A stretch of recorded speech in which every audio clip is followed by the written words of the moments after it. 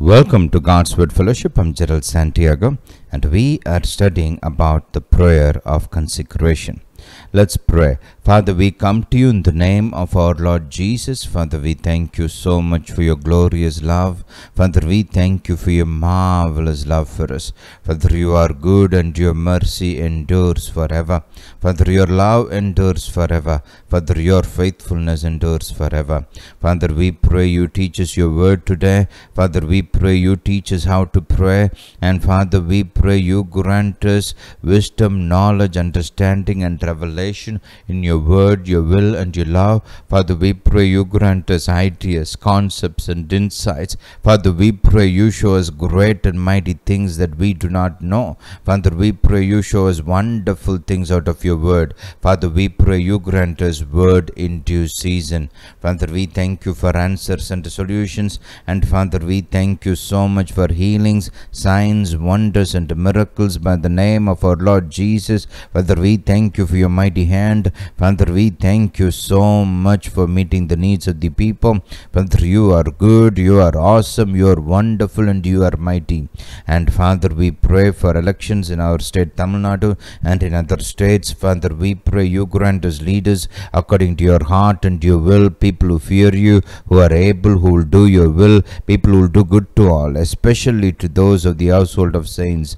Father, I pray that you grant us leaders who will lead and guide this nation in your ways and in your path and according to your word.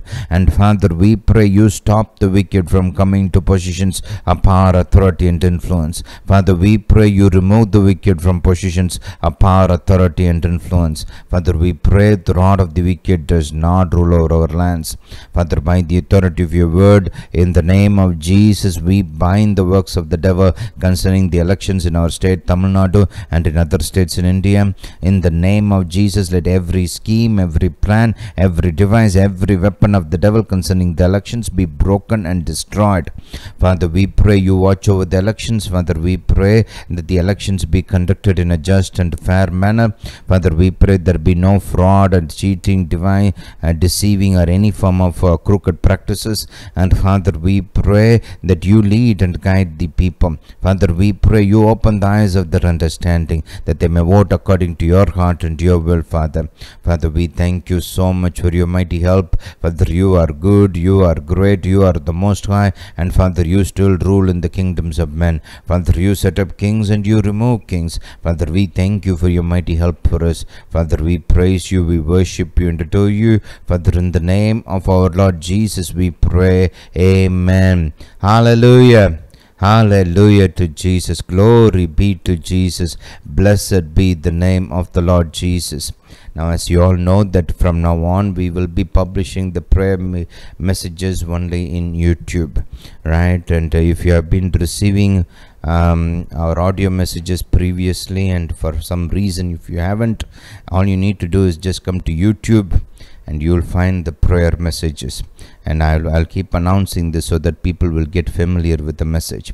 All right then um, let's go to john chapter 15 john chapter 15 verse 7 if you abide in me and my words abide in you you shall ask what you will and it shall be done unto you Hallelujah to Jesus. So, what's the condition for a good prayer? Right? You should be in Jesus, and your word and the words of Jesus should abide in you.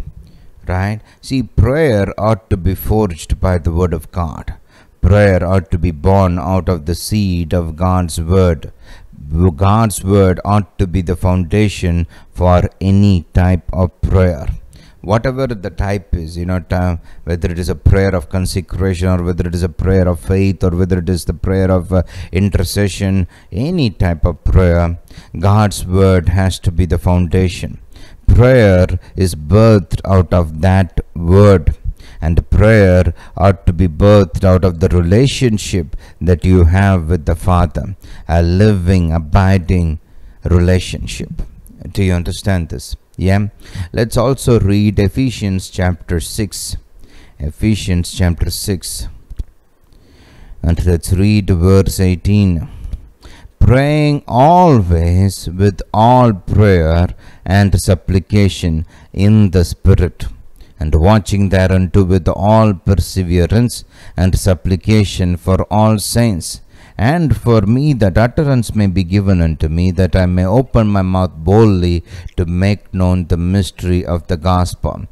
Prayer should be a way of life for a Christian. A Christian ought to be a man and a woman of prayer. Do you understand that? And prayer is not for some some super spiritual Christians. No, prayer is for every Christian. Our Lord Jesus was a man of prayer. When he was on earth, he was praying all the time. He prayed all through the night. He would get up early in the morning and pray. When he's about to do a miracle, he would pray right jesus prayed he would be conducting a meeting and halfway through he will stop the meeting send the people and go alone by himself into the mountain and he will be praying and he will be praying till early in the morning so you see jesus prayed in his prayer life and he taught prayer right and there are scripture after scripture where he teaches people to pray so prayer is, is a very important part of the Christian life. It's it's a vital part of the Christian life. Word of God and prayer are not something that you can do without as a Christian. Right? It's like food and water. You eat your food, you drink your water, right? If you want to be healthy. That's how it is with a Christian. You got to have the word of God and you have to have prayer. That's the only way you're going to have a good, healthy Christian life. Do you understand this? Yeah? Alright then. So we are to be people of prayer and we we ought to be praying for a variety of things right we ought to be praying for the nation we ought to be praying for the people who are who haven't known the lord jesus so that they also will come to the knowledge of our lord and savior jesus christ we ought to be praying for the uh, for the kings and those in authority we ought to be praying for the body of christ. Now that's what this passage is talking about. Praying with all, always with all prayer all manner of prayer and supplication in the spirit. Yield yourself to the holy ghost. You know make yourself available to him. Tell him lord holy ghost i'm ready. I'm willing. Lead me. Teach me to pray. You know he will use you. That that's how i learned how to and i made myself available to the lord jesus. And over a period of time he kept leading me and guiding me and teaching me more and more about prayer. And he started using me in different ways in prayer right? Make yourself available. See you may not know all the different passages in the bible about prayer. You may not know that there are varieties of prayer. I didn't know either right when i started off i didn't know what i'm teaching you today no, but the Holy Ghost led me and guided me and taught me step by step, step by step. You know, you, you can know things in your spirit which your head doesn't know yet. Eh? If you will make yourself available to the Lord Jesus, He will use you, He will guide you, He will teach you. Right? Availability is a very important factor. Make yourself available and the Holy Ghost will is a great teacher. You know, the Holy Ghost teaches in such a way that anybody can understand whether you know a lot of scriptures or whether you hardly know anything. Now, when I started out, I hardly knew anything, right? But the Holy Ghost taught me in ways that I could understand. The Holy Ghost led me and guided me. Holy Ghost will give you uh, custom made teaching plans for you. you understand that? Right? No matter where you are he can teach it in a way that you can understand that you can grasp and you can follow. So lean on the holy spirit. That's the that's how prayers become effective. In order for your prayers to be powerful, your prayers ought to be rooted and grounded in the Word of God, and you ought to learn how to be led by the Holy Spirit in prayer. If you learn these two things, hey, you can be used mightily in prayer. Hallelujah to Jesus. Hallelujah to Jesus. Let's go to Matthew chapter 26. We are studying about uh, the prayer of consecration. And this is a vital part of prayer because for a Christian, our purpose in life is to do the will of God. Right? That's why we are here. why are we on this earth we are not here just to you know occupy space no we are here on this earth so that we can accomplish the plan of god the great apostle Paul, you know, uh, he, he had accomplished a lot by this time when he was writing this epistle to the Philistines. And um, uh, I'm sorry, did I say Philistine? Philippians, right? And um, so when he was writing this letter to the Philippians, you know, he was. Uh, oh, he, he was you know he had accomplished a lot. He had he has reached a certain age in his life. But then you know and he had suffered a lot you know uh, in his effort to do the will of god. Um, he faced plenty of sufferings and he by god's grace and help he has been overcoming them and he is continuing to do the will of god. At this point of time he is having a tussle inside his heart you know that there is a, there are conflicting desires in him. And he talks about that. Go with me to philippians chapter 1 philippians chapter 1 and um, towards around verse 20 let's read from verse uh, 21 for to me to live is christ to die is gain. See that, that that's our motive. Everything we do we do for christ. Everything we do we do for jesus. Right see the bible says that jesus died for all of us so that those of us who are alive would live for him and not for ourselves right? That this living for ourselves should slowly you know disappear from our life. We live for jesus right? We live for jesus as you grow in your walk with jesus you will see that, that, that your personal selfish self-centered desires would disappear that they will go more and more you will start about thinking about what can i do for jesus how can i uh, serve the kingdom of God? How can I accomplish God's plan for my life? What is my part in doing great things for the kingdom of God? Right? You, you your mind will start changing as you as you start your walk with jesus as you spend time in his presence studying his word um, spending time in his presence you know getting involved with the church right? You, your mind and your attitude will change. You know the holy spirit will change you from glory to glory to glory right? So you know you will come to this place you will start learning these things. So when you hear such things no don't get scared. Oh boy that sounds way too spiritual for me right? No allow these thoughts thoughts to be planted in your heart. See that's what i do. You know when, when i began with the, my walk with god i heard thoughts like this you know and i was not like that. And i had way and i had to grow a lot you know. I be to begin with i was a selfish self-centered fellow right? My father used to joke all the time. He's, you know he used to ask me do you know what is the costliest fish in the world I said, What? he would say selfish. And I, now I, I was a selfish fellow. I, I was thinking about only me all the time. Right? But, um, see, after I came into the Lord Jesus, the Holy Ghost started changing me radically. So much so that more and more He is teaching me how to think about Him and His kingdom and, and not, not so much about me right? Focus on jesus focus on the plan of jesus and plan of god and focus on how to be a blessing to other people. That's where he is leading me more and more and more and more. And he will teach you also. If he can teach me and help me he will definitely teach you and help you. You understand that? Why is why are we talking about these things? Because prayer of consecration is vital to accomplish the plan of god for your life you need to learn this prayer so that you can overcome trials and temptations and uh, accomplish what God wants you to do on the, in this planet. You are here for a reason. Look at what Paul says. For to me to live is Christ and to die is gain. But if I live in the flesh, this is the fruit of my labor.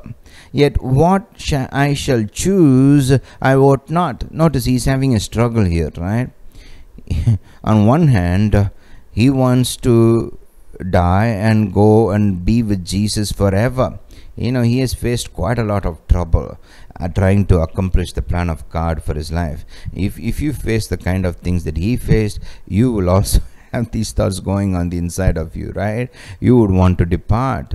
You know how i have heard people who are facing normal problems you know which are very very common to people and paul faced extraordinary kind of sufferings right?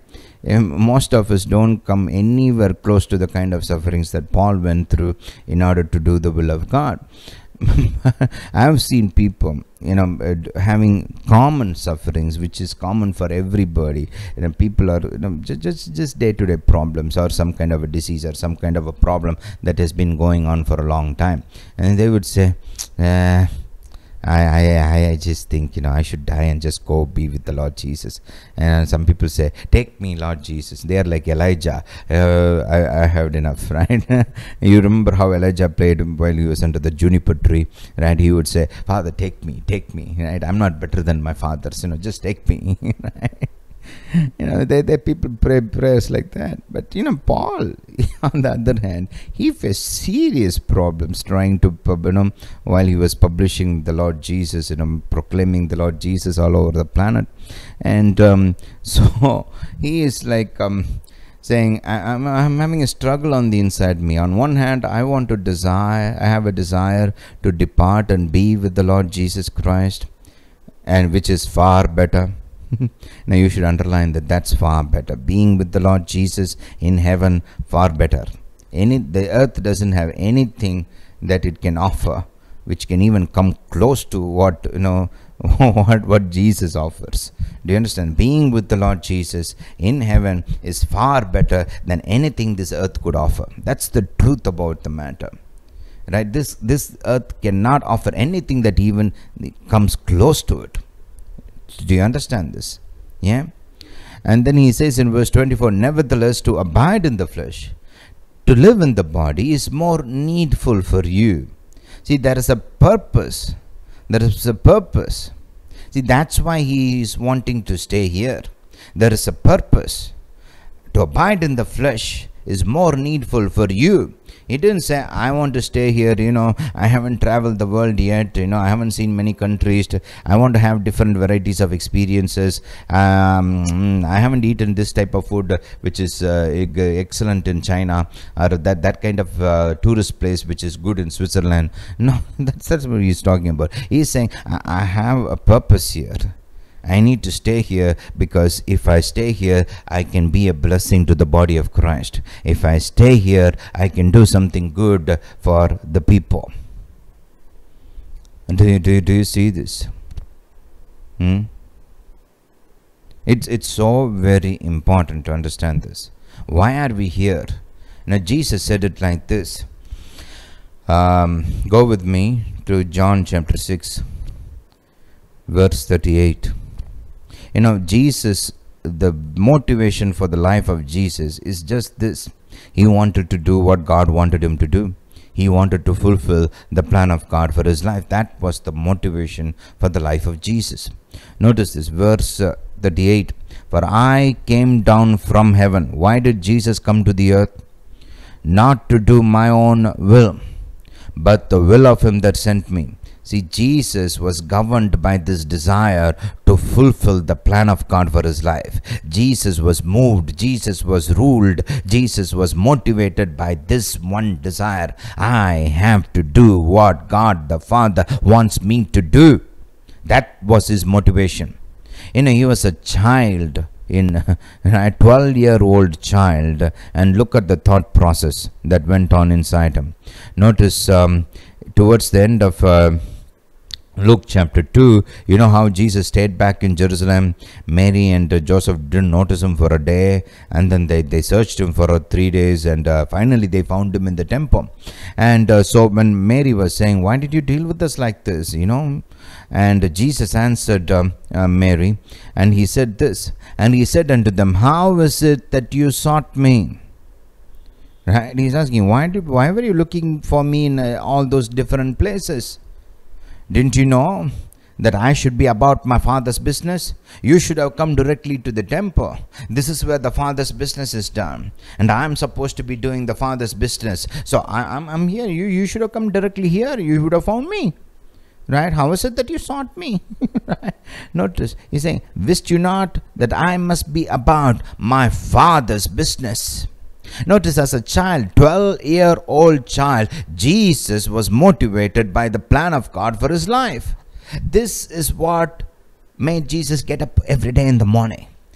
Right? Some people say, I don't know, I don't have a reason to get up in the morning, you know. My life is just plain boring. It's just about survival. Find the plan of God for your life. Right? Seek God. Find out His plan. Right? And you will have a reason to live. Find out the plan of God for your life. Let's look at. Uh, so notice Jesus was being motivated by what? By the Father's business, by the plan of God for his life. In another place, he says this, John chapter 4. John chapter 4, you know how he was speaking to the Samaritan woman, and then the disciples weren't, weren't around him, and later they come, they see him speaking to the Samaritan woman, and um, they ask him to eat some food, and Jesus responds like this. Right? And this is what Jesus had to say. John chapter 4, verse uh, 38. I'm sorry, 34. Jesus said, Jesus saith unto them, My meat is to do the will of him that sent me and to finish his work. Notice the motivation of the life of the Lord Jesus. This is what you call consecration. And Jesus was moved by the plan of God. The decisions that Jesus made, it was governed by the plan of God. Jesus was thinking, what does the Father want? What is the plan of God for my life? Where does my Father want me to go? What does He want me to do? What does He want me to say?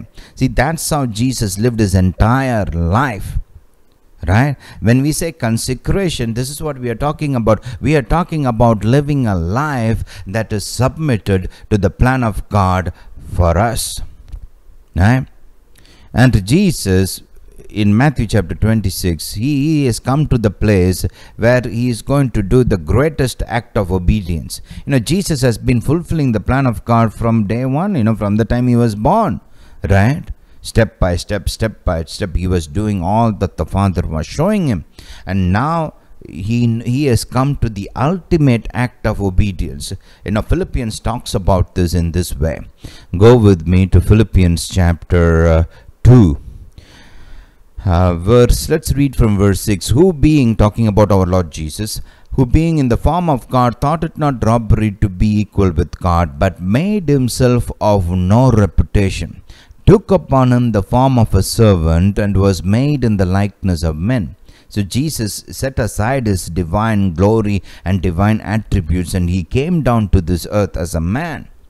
Right? Was made in the likeness of men and being found in fashion as a man, he humbled himself and became obedient unto death, even the death of the cross.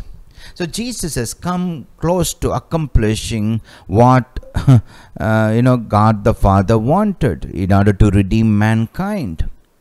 Right? Now he has come to the place where he has to obey the Father, right, even unto death. Right? And um, at this moment he's being tempted big time. He's being tempted to say no to the plan of God. His soul is sorrowful even unto death. His body, his flesh is shrinking back. I don't want that. I don't want that suffering. Right? Did you see this? Nah.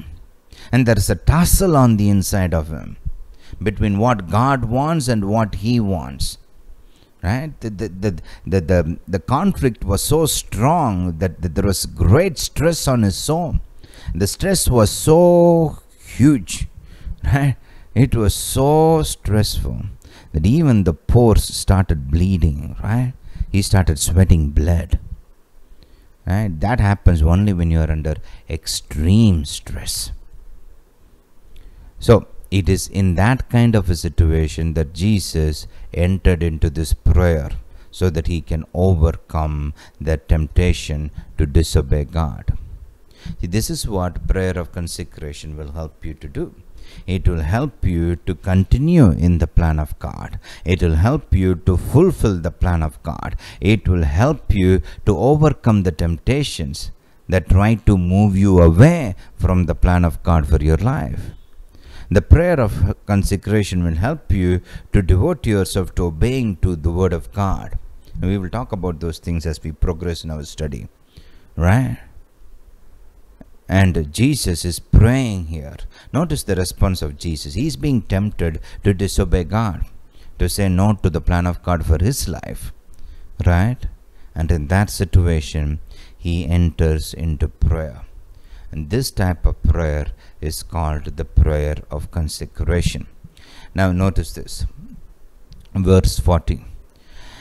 And he cometh, and okay, let's back up a little bit. Let's read from verse 39. Uh, and he went a little further and fell on his face and prayed, saying, Oh, my father, if it be possible, let this cup pass from me. Nevertheless, not as I will, but as thou will. Right? See, he is submitting his will to the will of the Father. And that's what our Lord Jesus expects every one of us to do. He expects us to submit our will to His will. He expects us to live a consecrated life, a life of obedience, a life that will follow the plan of God for our lives. Do, do you see this? Yeah? And uh, you need strength to do this. See um, if you are going to do the of god for your life you will quickly find out that you cannot do it in your own strength. Even our lord jesus christ himself needed strength to continue in the plan of god. Notice he is facing big time temptation to give up on the plan of god See, the very purpose that Jesus came down to earth is to save mankind. He didn't come down just to heal people and deliver people. Now, he could have done that sitting in heaven. He has been doing that in the old covenant all the time, right? Uh, God the Father has already revealed himself as Jehovah Rapha, the Lord who heals, right? And he has been healing people in the Old Testament. Right? He, he could have continued to do so through the various prophets and servants of God. But you know, Jesus didn't come down to just heal people and teach word of God. Now he had servants of God, prophets, and uh, and uh, judges and people like that to, to, teach the word of God. The scribes and the Pharisees and the priests and the Levites. Now they could have done that job. Now Jesus, the very purpose, the main thing that Jesus came down on the earth to do was to redeem mankind. Right? And now when he's about to do that, Right? When he's about to enter into that, the devil is saying, mm-hmm, I'm, I'm, I'm not going to allow this. I'm going to tempt you. Right? So there, there is this temptation. And Jesus is, is struggling here. Right? There is this conflict on between on the inside of him, concerning what needs to be done. He knows what the Father wants him to do. And he is going through this phase He's going through this temptation. And notice Jesus needed strength. The Bible talks about how an angel of God came and strengthened him. Right? Strengthened him. Let's read that passage. Let's go to Luke.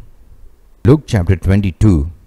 Luke chapter 22 and verse 43. And there appeared an angel unto him from heaven, strengthening him. Say that with me. Strengthening him. So you need strength to be able to do the will of God. And we are not talking about your mental capacity, your intellectual strength, your intelligent quotient, or your emotional quotient. You know, you have this IQ, EQ, right? And we are not talking about your muscular strength and you, the strength of your bones uh, and your stamina. Now we are talking about strength, spiritual strength, strength from God Almighty to be able to do what He has planned for us to do. You need strength. You, you can't just do it in your own ability. Right? Now go with me to uh, first, I mean, Colossians chapter 1. Colossians chapter 1. And uh, we will look at this verse and then we will close. We will continue our study next week. Um, look at this. Colossians chapter 1, there is this great prayer that Paul prays for people, for born again saints of God. Notice, Verse 9 For this cause we also, since the day we heard it, do not cease to pray for you. What is Paul praying for the saints of God? What was Paul's desire for them? And to desire that you might be filled with the knowledge of his will in all wisdom and spiritual understanding, that you might walk worthy of the Lord full unto all pleasing, being fruitful in every good work, increasing in the knowledge of God. And notice what is he asking God for? Right? Verse 11. Focus on that. Strengthened with all might according to his glorious power unto all patience and long suffering with joyfulness. See, you need strength, you need might, you need some power to be able to do what God wants you to do in this planet. See, there is opposition for you. There is the devil on the outside. You have a flesh, you have a physical body which has the flesh nature, right? You have the soul, unrenewed mind, right? Which, which will uh, pull you away from the plan of God, right? You have people who discourage you, who say things against you, who work against you, right? So you have all sorts of problems in this world. You, you know, as it is, you have the sin and the curse and the death operating in the world. And so, in this planet, while living on this earth, if you are going to do what God wants you to do, you, you got to pray. You have to know how to consecrate yourself to the Father. You need to learn how to pray the prayer of consecration. You need to know how to you know go to God and receive strength from Him so that you can continue and you can persevere in the plan and the purpose of God for your life. Right? Without, without that, you're not going to be able to accomplish the plan of God. Eh?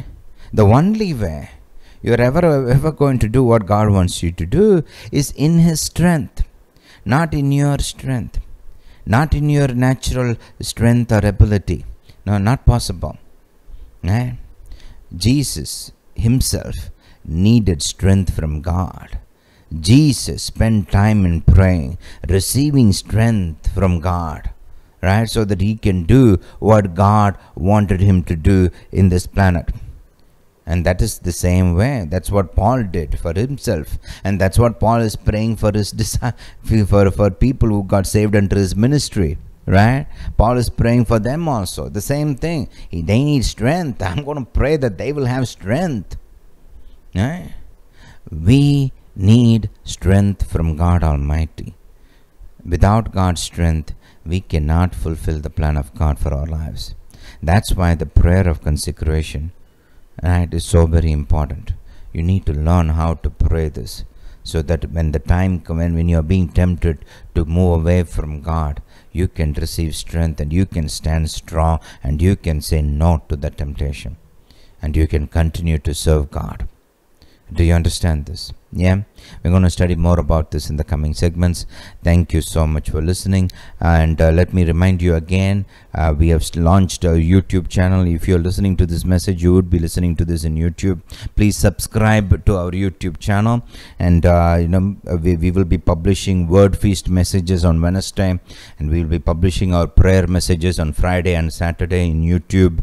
So um, you will be it will bless you greatly. We will also be publishing short video messages every now and then right to keep you nourished with the word of god. And these messages will bless you. You know they are anointed word of god. They will break bondages. They will remove burdens. They will strengthen your spirit. They will bring god's blessing into your life. So listen to them. It will benefit you greatly. And also share it with your friends family relatives co-workers neighbors people who need the word people who love the word. Share it with them. God will honor you. And um, encourage them to subscribe to our channel. Thank you so much for listening. God bless you. Jesus is coming soon.